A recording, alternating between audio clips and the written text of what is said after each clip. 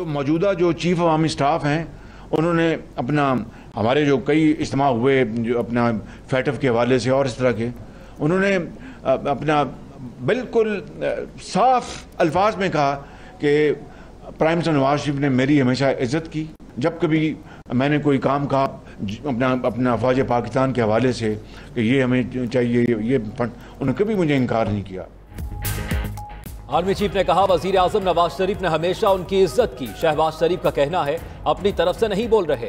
ये अल्फाज जनरल कमर बाजवा के हैं। आर्मी चीफ ने बताया, नवाज़ शरीफ से फौज के लिए जब भी कोई काम कहा, वो पूरा हुआ। इमरान न्याजी की खातून रुकन असम्बली ने फौज के खिलाफ जहर उगला ऑपोजिशन लीडर मजीद बोले, सीईओ ब्रॉडशीट ने तस्लीम किया। 20 साल तहकीकात में नवाज़ शरीफ के खिलाफ कुछ नहीं मिला। कावे मौसवी की मुआफी नैब न्याजी गठजोड़ के मुँह पर तमाचा है।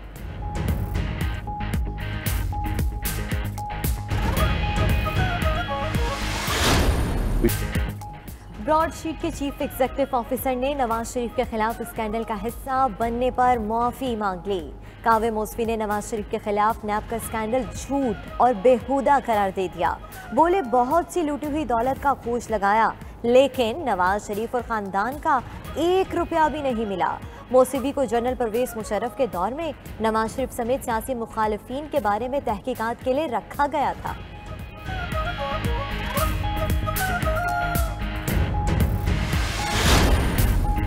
इमरान खान पैंसठ मिलियन पाउंड खर्च करके नवाज़ शरीफ के खिलाफ पैंसठ रुपए की करप्शन साबित नहीं कर सका। नून लीग की नायब सदर मरियम नवाज़ का ट्वीट कहा, नवाज़ शरीफ को तो अल्लाह ने सुरखरू कर दिया, मगर मौसवी का मुआफीनामा इमरान खान के खिलाफ चार्जशीट है। इंतकाम की आग ठंडी करने के लिए कौम का पैसा बहाने का इख्तियार किसने दिया?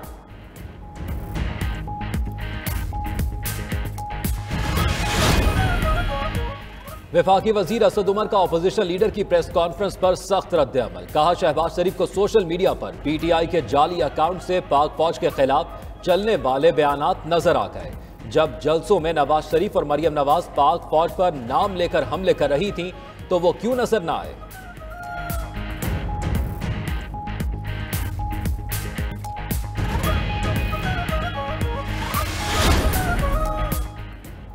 ब्रॉडशीट का मालिक खुद नैब का मुजरिम है। इसकी गवाही पर शबाज शरीफ की प्रेस कॉन्फ्रेंस बुक लाहट का इजहार है। वज़ीर इतलात फवाद चौधरी का कहना है कि शरीफ खानदान की करप्शन का सबूत बैंक अकाउंट्स और लंदन के महँगे अपार्टमेंट्स हैं। मामले खसूसी शबाज गिल ने कहा कि एक साल पहले यही काव्य मूसवी कह रहा था, नवाज़ शरीफ करप्ट है। शबाज शरीफ बताएँ, मकसूद चपड़ासी के अकाउंट में चार अरब कहाँ से आए?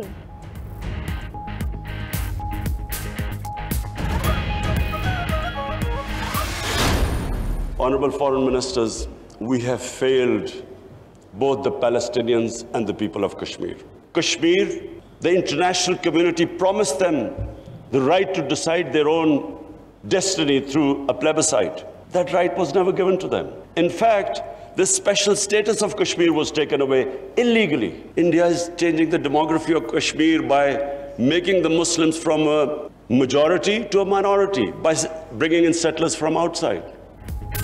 वज़ीर अजम इमरान खान का उम्मत मुस्लिमा को इतिहाद का पैगाम ओ आई सी वजरा खारिजा काउंसिल के अजलास से खिताब, कहा, मुस्लिम मुल्क मुतहद रहें, किसी जंग या ब्लॉक का हिस्सा न बने।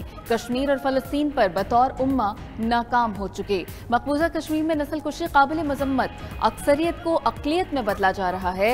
फलस्तीन में इसराइली जारियत दिन दिहाड़े डकेती की वारदात है। दहशत गर्दी को मुसलमानों से जोड़ना काबिल मजम्मत है।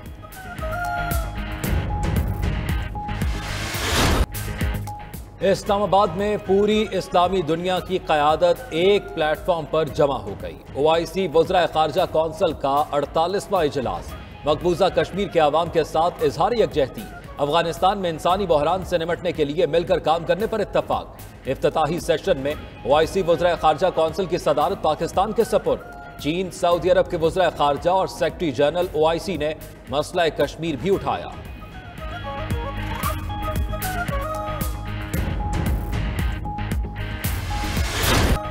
वज़ीर अजम इमरान खान से चीनी वज़ीर खारजा की मुलाकात। सी पैक समेत पाक, चीन ताल्लुक पर गुफ्तु वज़ीर अजम से सऊदी वज़ीर खारजा भी मिले। इमरान खान ने खादम हरमैन शरीफैन शाह सलमान और वली अहद मोहम्मद बिन सलमान के लिए तहनीती पैगाम पहुँचाया। कहा, दोनों मुल्कों के ताल्लुकात तारीखी रवाबित और मजमू सतह पर ताउन पर मबनी है।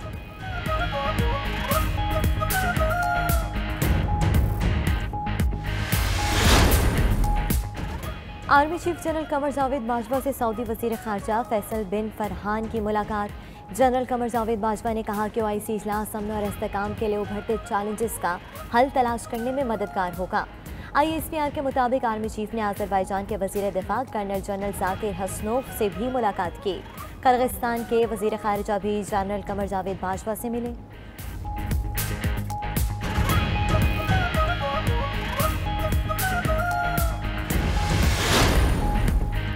सरबराह पीडीएम मौलाना फजल रहमान की बहादुराबाद मरकज में एम क्यू एम के रहनुमाओं से मुलाकात। सियासी सूरत हाल और अदम एतमाद की तहरीक पर गुफ्तु फजल रहमान कहते हैं इतिहादी अब हुकूमत के साथ नहीं रहे, बाजाबता ऐलान करने में एक आध दिन लग जाएगा। खालिद मकबूल सदीकी बोले फूक फूक कर कदम रख रहे हैं। हुकूमत कम अज कम उन्हें अपने साथ रहने का जवाब तो दे।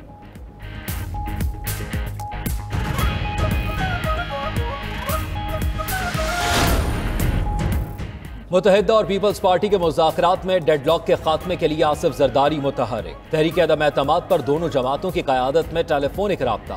आसिफ जरदारी और बिलावल भुट्टो ने खालिद मकबूल से टेलीफोन पर गुफ्तु की। बराह रास्त रबते में रहने और मुलाकात पर इतफाक मुजाकरात के छठे दौर में मिसाक कराची का मुजवजा ड्राफ्ट फाइनल होने के करीब। एम का सिंध असम्बली से तरमीमी मुसवदा मंजूर कराने पर ज़ोर।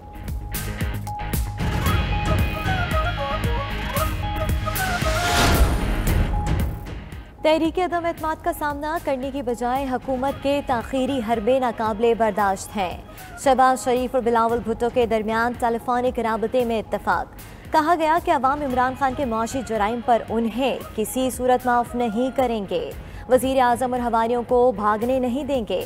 अपोजिशन लीडर ने अख्तर मैंगल से मुलाकात भी की।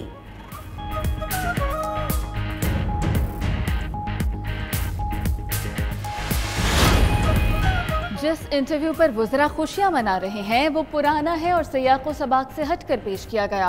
पीटीआई के नाराज़ रुकन कौमी असम्बली अहमद हुसैन डेहड़ का वीडियो पैगाम। कहते हैं, एक चैनल ने इंटरव्यू सयाक सबाक से हटकर चलाया। साजिशें करने वाले बाज रहे। वो इमरान खान के साथ थे। नून लीग के अरकान तोड़ने पर खिलाफ हुए।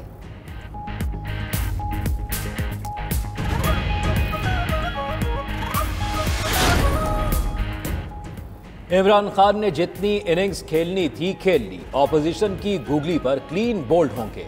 हमजा शहबाज का कहना है, जहाज़ में लोग भरकर लाते वक्त इमरान खान को जमीर की आवाज़ अच्छी लगती थी। अब वही अरकान वापस जा रहे हैं तो ये जमीर फरोशी हो गई। अदम एतमाद आने के बाद इमरान न्याजी हवास बाख्ता हो चुके। दीगर मुल्कों को ललकारने की पाकिस्तान को भारी कीमत अदा करना पड़ेगी।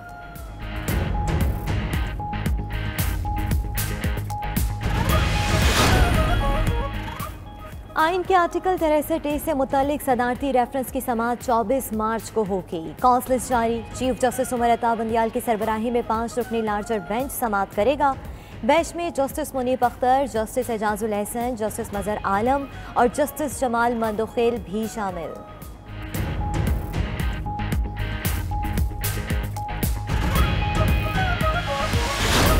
की कदर ऊपर से ऊपर, रुपया हर रोज मजीद नीचे गिरने लगा। इंटरबैंक में डॉलर 48 पैसे, मजीद महँगा। तारीख की नई बुलंद तरीन सतह एक सौ इक्यासी रुपए, तिहत्तर पैसे पर बंद हुआ। ओपन मार्केट में डॉलर 50 पैसे महँगा, एक सौ तिरासी रुपए का हो गया।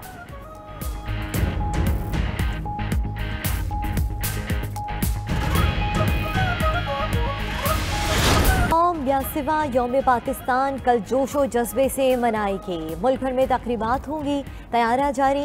योम पाकिस्तान पर सबसे बड़ा इवेंट इस्लामाबाद में मुसल्ला अफवाज की परेड होगी। परेड ग्राउंड में फुल ड्रेस रिहर्सल की गई। परेड में जदीद तरीन जे टेन सी लड़ाका तैयारे पहली बार फ्लाई पास्ट करेंगे। इस साल योम पाकिस्तान का थीम शाद रहे पाकिस्तान है।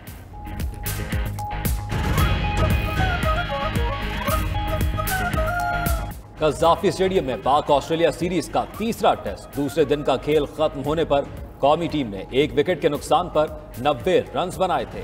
अब्दुल्ला शफीक 45 और अजहर अली 30 रन बनाकर क्रीज पर मौजूद। इमामुल हक 11 रन बनाकर आउट हुए। मेहमान टीम तीन सौ इक्यानवे रन पर आउट हुई। शाहीन शाह और नसीम शाह ने चार चार खिलाड़ियों को आउट किया।